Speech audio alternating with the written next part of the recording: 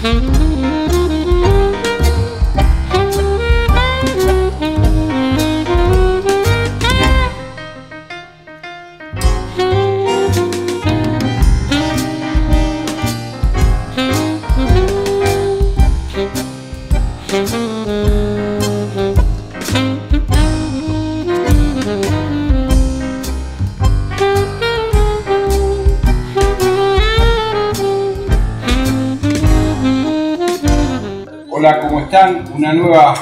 Edición de La Fama Puro Cuento en formato TV. Hoy, entrevista doble. Vamos a hablar con el amigo Coroto Junior Gutiérrez y con Eduardo Canal. ¿Cómo andan? Muy bien, Muy bien, muy bien, muy contentos, muy agradecidos por la invitación. Muchas gracias. Un verdadero placer. No queríamos terminar eh, esta década sin estar en tu programa. Qué bueno eso. Contanos algo de tu familia primitiva, el lugar donde naciste. Bueno, yo, soy oriundo de Saldungaray. Bueno, después te va a contar Eduardo, los dos somos oriundos de Saldungaray. Eh, papá oriundo de Arboledas, partido de Caseros, que después se llamó Deró. Eh, vino, no sé si a los 17 años vino a Saldungaray, conoció a mamá y bueno, después en el 62 se casaron, en el 63 nació esta hermosura y en el 65 nació mi hermana, así que ese es el núcleo familiar de los Gutiérrez en Saldungaray. ¿Y los tuyos, Eduardo? Bueno, muy parecido, este, también mi familia son de Saldungaray, mi padre eh, nació donde hoy está el dique Paso de las Piedras, o sea, la estancia donde ellos vivían de chiquititos, ahora está bajo agua. Y este, así que el viejo Canale tuvo que emigrar cuando el Estado se quedó con ese campo y se fueron a, a Saldungaray. Así que ahí se formó una familia de, de 12 hijos que tenía Humberto Canale. Y este, mi padre se llamaba Humberto Canale también. Me hubiera gustado a mí que me pongan Humberto Canale, pero no, no siguieron la tradición. no pudiste elegir. Así que bueno, ahí en Saldungaray armó también mi familia, mi padre, con una mujer de acá de Bahía Blanca, de la calle Sixto Las Piur, este, al lado del almacén de Coleta. Y, este, y bueno, somos dos, eh, Néstor, mi hermano y yo, este, que los dos también siempre le hicimos a la música. Él es percusionista, toca la guitarra, cantar. Mi viejo y mi vieja cantaban. Con el padre y la madre de Gerardo tenían un grupo folclórico con la típica vestimenta de chalchaleros así, de poncho rojo, bombachas blancas. Hay fotos por ahí de ese grupo, que era Poroto, el verdadero Poroto, porque esta porquería no es Poroto. Este. Nah, no, no Por llega eso dijo Poroto. Junior. Claro. Poroto Dorita y Humberto, mi viejo Pucho, Canale, y Elba, Canale, Elba Estaño. Estaño, ¿conoces? Estaño. Contanos, ¿con qué soñabas vos cuando eras pibe? ¿Qué querías hacer? Y capaz que me hubiese gustado ser una figura del rock o un futbolista. Eh, y si bien me gustaba contar cuentos en asados y eso, nunca imaginé que, que con el tiempo me iba a dedicar a eso y que podía llegar a una carrera de 35 años eh, haciendo lo que más me gusta hoy, en realidad. ¿Y vos, Eduardo? Para serte este, sincero, no tengo recuerdos de qué quería hacer. La verdad que no. Este, pero sí supongo que tenía que estar ligado a la música por lo que te digo, ¿no? Yo a los seis años tocaba la guitarra y mi- con mi padre, siempre para mí es un, recuerdo este, muy consecuente el de verlo a mi viejo sentado en el borde de la cama y yo con él ahí sentado, los dos tocando la guitarra por la noche cuando él volvía de su trabajo, este, de la carnicería, era carnicero.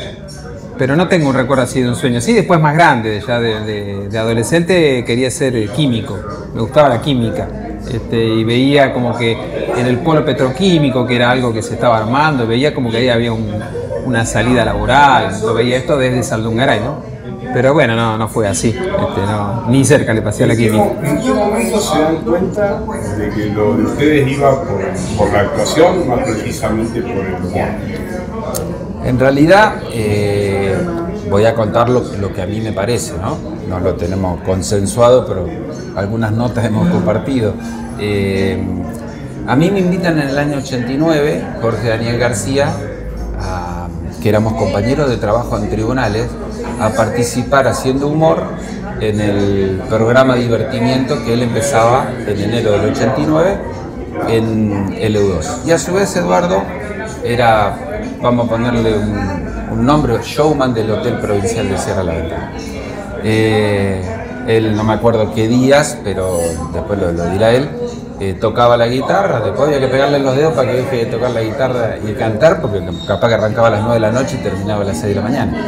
Eh, y un día me, me, dijo, dice, ¿no querés acompañarme? Le digo, no, mira, hoy no puedo, pero el fin de semana que viene vengo de vuelta. Y él durante toda la semana hizo toda una historia de que iba a venir un cuentista de la talla nacional, que todo mentira. y, bueno, y, fui, y nosotros, bueno, nos conocemos desde chico y todo, algunas cositas muy, muy poquitas, cantamos a dúo, eh, a trío, mejor dicho, con Néstor, con el hermano de él, y yo conté cuentos, otra vez se repitió, y un día nos juntamos y dijimos, sí, si lo encaramos seriamente, pero hablando de humor, y así fue que decidimos los tres empezar y dijimos, ¿cómo nos vamos a llamar? Y no sabíamos si eran los, los de Saldungaray, era muy folclórico, era como decía Eduardo, con eh, coso blanco y poncho rojo. Y bueno, al final, después, que seguramente Eduardo te lo va a aclarar, eh, usufructuamos un nombre de una pandilla que se llamaba la pandilla de los mosquitos, que ya era conocida eh, porque había salido varias veces en bronceado. el nombre de la pandilla todos los fines de semana salía y le usufructuamos el nombre. Como dice Eduardo, los más profesionales de la pandilla se fueron, quedamos nosotros dos. ¿Y lo tuyo, Eduardo? Y yo también parecido a lo de, o sea, no por lo de la radio, pero sí parecido con que haciendo otras cosas, tocando la guitarra y cantando con mi hermano en algunos lugares del pueblo, de Torquins, en alguna fiesta del, del, del, distrito. Sí, sí, sí, sí, yo estudié guitarra mucho tiempo, vale, muy chiquitito. Este, podríamos decir, me recibí de profesor, nunca creo en, esa, en ese título porque no sirve, perdón, ¿no? Para aquellas academias que, otorgan título de profesor, pero eh, no se termina nunca de aprender y por más título que tengas, este, no, va por otro lado. El Ojo, yo también estudié, pero no aprendí. Así que este, sí, la guitarra me acompañó siempre, ya después más grande le metí al clarinete, al bandoneón, siempre bastante inquieto con eso de la música. Este, componer, hacer arreglos, que yo siempre me gusta, lo sigo haciendo. Es mi, este, ahora mi esposa viaja a Buenos Aires, se va una semana y tengo todo pensado cómo voy a armar en mi casa para que no me joda nadie y ponerme a escribir y a arreglar y a, grabar cosas, editar, truchar guitarras. Así que bueno, tocar la guitarra y cantar siempre, con mi padre, con mi hermano, con mi madre. Este, y, la parte del humor porque, o sea, con Gerardo sin estar de acuerdo, pero siempre fuimos fanáticos de Lelutier, de Don Luis Landicina, de más adelante del Gato Peters. Y ahí en el Hotel Provincial de Sierra de la Ventana, antes en una confitería de Sierra de la Ventana, de Windmill o Vito, que era lo de Mimi, este, nos juntábamos un montón de gente joven de allá, vagos y vagas, este, a guitarrear y yo hacía cosas de, humor, de, de Así que bueno, eh, terminamos juntos, creo que por un eh, amigo, compañero de trabajo de él, que, me vio, creo, en el Hotel Provincial, le comentó, este, nos armó como una rutina, este, que es Osvaldo Somoza.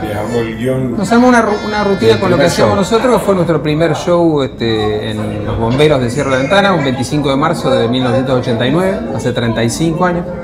Y este, bueno, ya luego de ahí empezamos a, digamos, a pensarlo un poco más como un trabajo, porque la verdad que nos redituaba económicamente también. Este, empezó a formar parte de Guido Christensen, que también nos ayudaba en la venta, en la operación de sonido, en el traslado para ir a los lugares donde nos contrataban. Eh, teníamos reuniones semanales donde escribíamos este, libretos y este, él traía ideas, Gerardo traía sus ideas, yo las mías, y entre los tres escribíamos algo que siempre lo que se digamos, se optaba por la mayoría. No sabemos si las cosas que quedaron sin hacer eran muy buenas y el que perdió, digamos, de, los tres no pudo demostrarlo, porque a veces uno traía una idea, los otros dos decían no, no, no nos parece, no se hacía.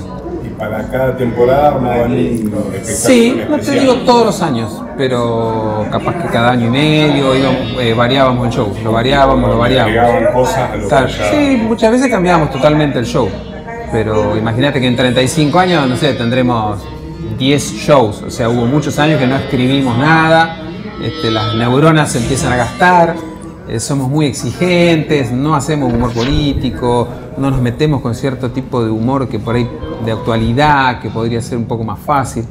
Entonces medio que se nos terminan las ideas siempre viendo que uno no quiere copiar al Gatopete, que no quiere copiar a Hugo Varela, que no quiere copiar a Nadel Lutier. Entonces, a nosotros nos, ha costado mucho realmente ser novedosos con algo que, no, que nos parezca que esté bien. Los Mosquitos de una localidad pujante del sur de la provincia de Buenos Aires que se llama Saldungaray. Pueblo chico, si lo saben. Fíjate, si era chico, Saldungaray con la vuelta fue un circo, el pueblo que dentro de la carpa. Este dúo lleva ya 33 años presentando distintos espectáculos en distintas localidades de distintos lugares del país y con el correr de los años sus integrantes estamos distintos. En cambio, para, para uno de ellos parece que el paso del tiempo no, bueno, no ha hecho mella. Debe ser porque tomo un actimel todas las mañanas. En cambio el otro se está quedando cartas de basto, corto de, corto de vista. Lo que estamos seguros que no han cambiado son nuestras ganas de seguir haciendo humor, solo que no han cambiado, también hasta nos hemos imaginado haciendo humor dentro de un año en Llega Parking Bahía, un nuevo método de pago para el estacionamiento medido. Mejoramos para que sea más rápido y fácil estacionar. Podés cargar crédito desde tu celular o pagar en comercios adheridos. Parking Bahía te permite estacionar por zonas, contar con 10 minutos de tolerancia para iniciar el estacionamiento, consultar tu saldo y los puntos de venta autorizados. Sumate a Parking Bahía y gestiona tu estacionamiento estés donde estés. Una ciudad más ordenada la hacemos entre todos municipio de Bahía Blanca. En Bahía Blanca hay una buena opción para crear tu propio outfit en joyas y accesorios. Búscanos como Sir Accesorios en Instagram. Sir, crea tu magia. 20 de abril, 21 a 30 horas en el Café Histórico. Volvemos al ruedo con mi adorada amiga Gaby, la voz sensual del tango, y su hijo Galo. Vamos a hacer una presentación fabulosa, la verdad que es un lugar mágico, invito a que todos vayan porque aparte comer ahí es riquísimo, súper económico y realmente crean que, que el espectáculo va a ser glorioso. De hecho, hace muchos años que lo estamos haciendo, yo ya me siento mil y más cuando estoy con mi amiga al lado. No sé si voy a cantar, no sé qué voy a hacer. Recuerden que lo mío es una especie de stand-up, pero improvisación. Vamos a ver con qué me inspiro. Seguramente eh, seguramente mis hijos, Albano. bueno, espero que puedan venir, espero que vengan, va a ser este 20 de abril a las, eh, ya te digo, porque me estoy fijando en el cartel, ustedes también se tienen que fijar ahí, 21 a 30 horas puntual, se comen algo rico, estamos ahí, después tiqui tiqui tiqui tiqui, y es una mezcla perfecta de un show espectacular, los esperamos.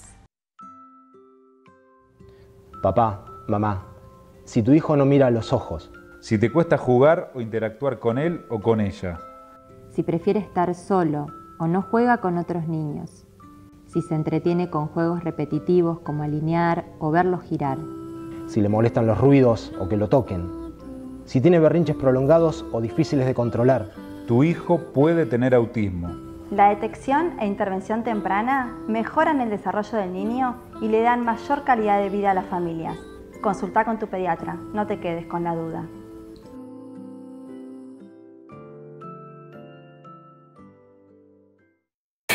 Bahía Recicla, el nuevo programa de gestión integral de residuos de la ciudad. ¿Sabías que este programa comienza en tu casa? Sí, diferenciando los residuos secos de los húmedos y sacándolos separados. Hay más de 10 rutas de recolección diferenciada de residuos con días y horarios específicos. Recordá sacar tus residuos bien identificados. También podés llevar vos mismo los residuos a los ecopuntos y puntos limpios. Hay varios en diferentes puntos de la ciudad. Un promotor ambiental te va a estar visitando para brindarte más información. Recordá que vamos a estar bien identificados y no tenemos que entrar a tu casa. Ingresá a www.bahiarecicla.bahia.gov.ar y sumate a separar tus residuos. Son de ir a ver un espectáculo de humor, ya sea de acá o de otro lado, para, ver. siempre algo de iluminación que te puede interesar, un armado, un formato. Sí, disparadores también. Y hemos, hemos visto también quizás más acá, eh, por el tema digo de las redes y eso, gente que por ahí no nos gusta, porque siempre aprende, aunque sea lo que no hay que hacer. Lo que no hay que hacer. Siempre aprende. Sí, sí, yo siempre yo soy de a ver. Claro. Siempre algo te lleva. A mí, a mí, por ejemplo, el stand-up es un estilo que a mí no me gusta, me parece demasiado yankee. Totalmente personal esto. Eh, pero había. Pero nuestro era más el monólogo. Claro, Es que no deja de ser un monólogo, el tema es cómo lo ordenás, por Claro. ahí hay otra, otra forma de... y, y muchas veces había un programa en Central Comedy, en el, en el Ah, canal ¿qué de televisión, que pasaban tres estandaperos, creo que la palabra no existe, pero queda. Eh, y yo los miraba y mi señora me decía, ¿para qué lo mirás si no te gusta? Le digo, pues no puedo entender porque a tanta gente le gusta y quiero darle la posibilidad. Y no, hay una cuestión que el, el formato, hay estandaperos, insisto, el término no debe estar bien dicho, que yo los, ve- los veo y no me gustan. Los escucho en radio y me encantan, pero no hacía stand-up. Eh, y hay gente que viene del stand-up, como Moldaski, pero no es un stand-up convencional, por ejemplo, y me encanta. Sí, es más un cuentista, Moldaski. Claro, Ah, pero sí, se fue, monologuista, se fue claro. moldeando. Sí, sí. Yo me acuerdo del promotor que lo trajo acá hace muchos años, el productor, le fue muy mal. Con el paso del tiempo, y ahora le va bien a este tipo. Yo perdí tanto. Pensar que, Ah, claro, cuando vino a la biblioteca, me Claro, parece. biblioteca, Claro, sí, nosotros sí. lo conocimos ahí. Sí, sí. Y, y el tipo siempre fue bueno, pero bueno, esto es, ¿sabes cómo es? No te comunicás, si no hay Sí, en la pantalla de Buenos Aires me parece que también, este, no quiero ofender a un sector del público, pero hay público que por ahí, si está en Buenos Aires, eh, piensa que está bien, entonces si lo ven en una pantalla de Buenos Aires, cuando viene a Bahía, entonces Lo ahí sí lo voy a ver, si no, no, no sí, lo hubiera ido a ver. Este, cuando por ahí eh, hay personas que no están en la pantalla de Buenos Aires, son unos genios y merecen que cuando vienen a Bahía que uno vaya. Sí, o cuando traes a alguien que dice, ¿pero dónde lo sacaste? No, Bueno, hace 20 claro, años. Claro, tal cual. Anda a velo y. Claro, por ahí no tiene la difusión que tienen otros. Claro. Sí, sí. ¿Y cuándo se consolidan los mosquitos? Eh, los Mosquitos, el 25 de marzo del 89, que fue el primer show, con Néstor. Creo que con Néstor tuvimos tres o cuatro, no recuerdo cuánto exactamente. Eh, después nos dimos cuenta que no nos podíamos llamar dúo y lo a Néstor. Así que. eh, ah, porque arrancaron con dúo y estaba Néstor. no, no, no. O sea, éramos- se llamaban los, los Mosquitos. Mosquitos éramos tres. Eh, pero. Si no era como el dúo de tres. Había Claro, como un sector en el show que era folclore, o sí, folclore, alguna canción de León Gieco, algo así, y humor. Y después, bueno, es como que nos volcamos totalmente al humor, con personajes. Este, y ya, como, digamos, como Gerardo hacía casi exclusivamente la parte de cuentos, yo no contaba cuentos, cantaba algunas canciones. Eh, luego, como que ya armamos algo más. Este, O fue novedoso para la ciudad y para la zona. A nosotros nos querían traer al, al sector de los pubs, por ejemplo. Eh, Yo era DJ de Tubax en ese momento. Y entonces me iban a ver, yo, no, los quiero traer, que escuché comentarios. Yo, no, noso- nosotros no estamos listos para venir a un pub de Bahía. Nosotros era que nos juntábamos de vez en cuando cuando yo iba a Saldumaray, o muy de vez en cuando cuando él venía a Bahía. Eh, entonces no teníamos ensayo, era una cosa media no prolija, digamos, armada como un show. Y una vez armamos una, una rutina por lo menos organizada y, vinimos a un pub que estaba en la, en la avenida Len que llamaba Mr. Chaplin. Eh, y nos fue muy bien, nos fue muy bien, lógicamente porque las personas encargadas del local llenaron el local si a nosotros no nos conocían. Y entre algún compañero de trabajo y compañera que fueron a, a vernos y nos volvieron a llevar. Y, y bueno, y así empezó a que después nos llevó un pub de General Serri y después te empezaron a llamar de la zona.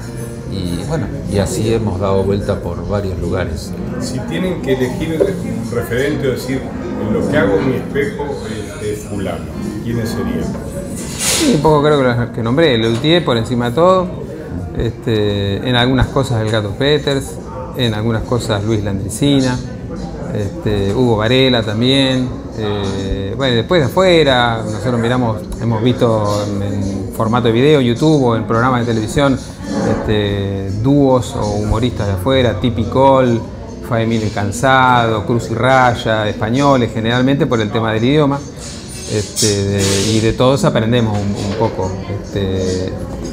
Podría asegurarte que no robar, no hemos robado de ellos, que tampoco estaría mal, porque viste, muchas veces uno agarra y te afanas una cosita, la, la, la cambias un poco y Sí, está, pero en realidad la verdad es que no, siempre hemos escrito cuando estábamos con Guido los tres y este, cosas eh, nuestras, es más, cosas localistas, eh, cosas que yo hay una samba que hablamos de Montermoso, hay un chamamé que hablamos de Saldungaray, eh, o sea que claramente no está afanado de nadie, sino que son ideas nuestras y desarrolladas para un tipo de público que generalmente siempre fueron más o menos este, contemporáneos con nosotros. Siempre, o sea, en su momento gente de 30 años, después de 40, de 50, bueno, ahora ya estamos para la- más de la tercera edad, ¿no? Hay gente que no está.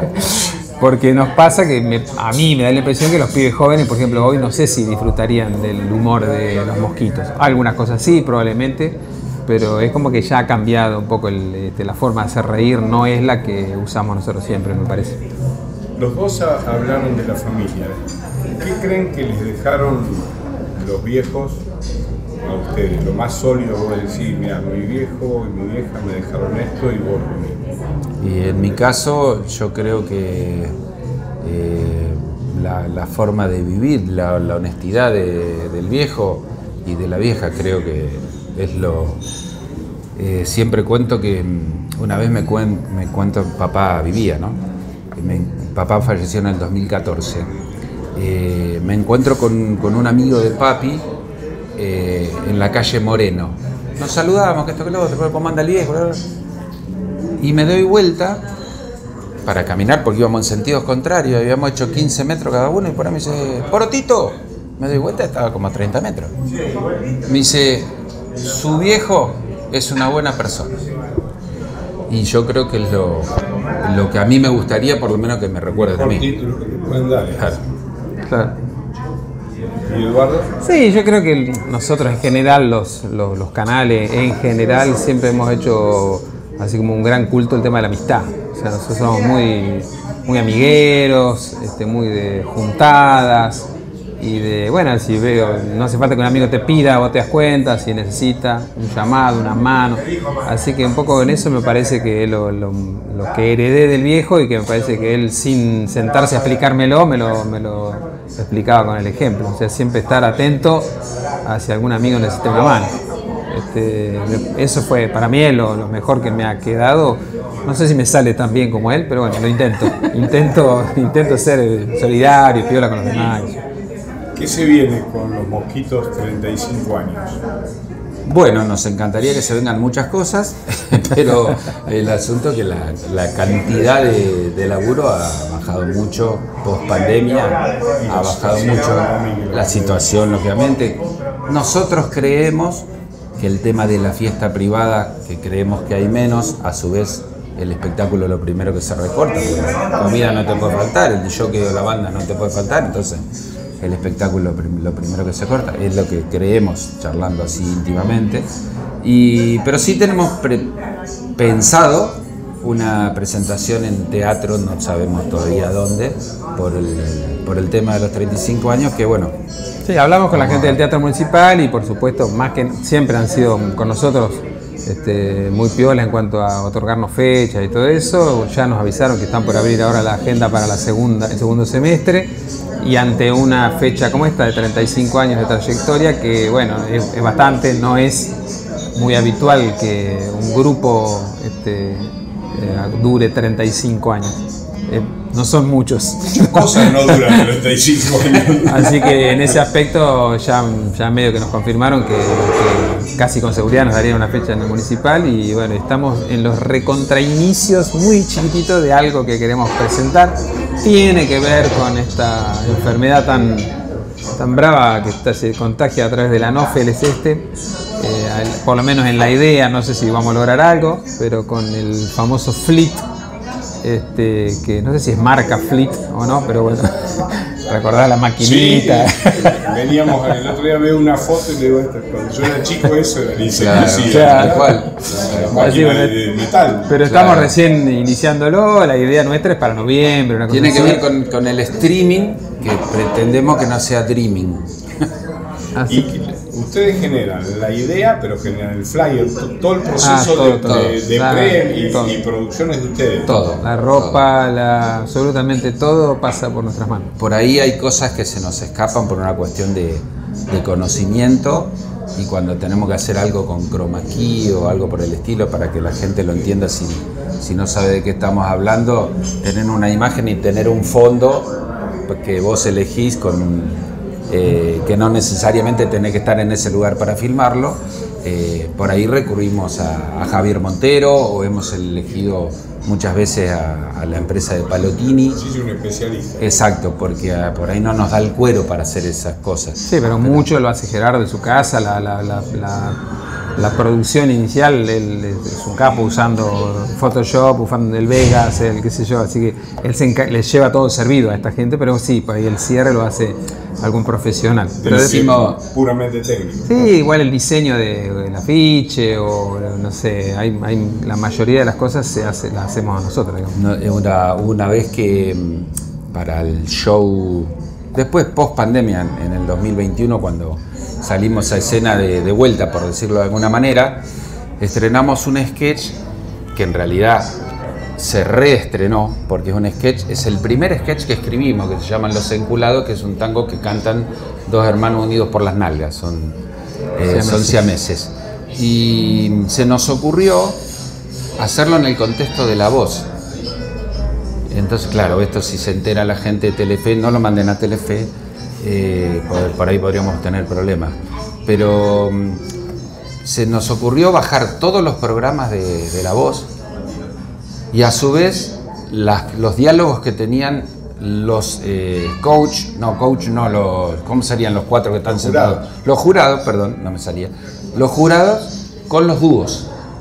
Entonces nosotros tenemos una charla con Marley, por ejemplo. Ahí tuvimos que, recurrir al chroma key, por ejemplo, ¿no? Eh, y después participamos adelante los cuatro jurados y los jurados nos dan la devolución y hablan con nosotros.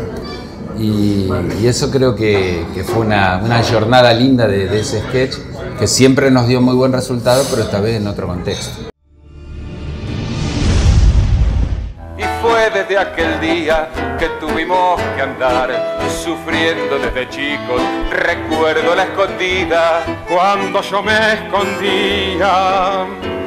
Yo no lo podía encontrar. ¿Vos no tenés un hermano mellizo? Ah, idéntico. Dos gotas de tierra, dijo un santiagueño. Ah, Igualito.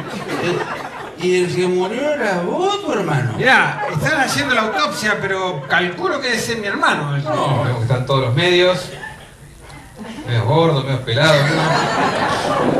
Él es un, un instru- un instrumentista multifacético que toca el piano, dije, como mi hermano. El cello, como el abuelo. El clarinete, no.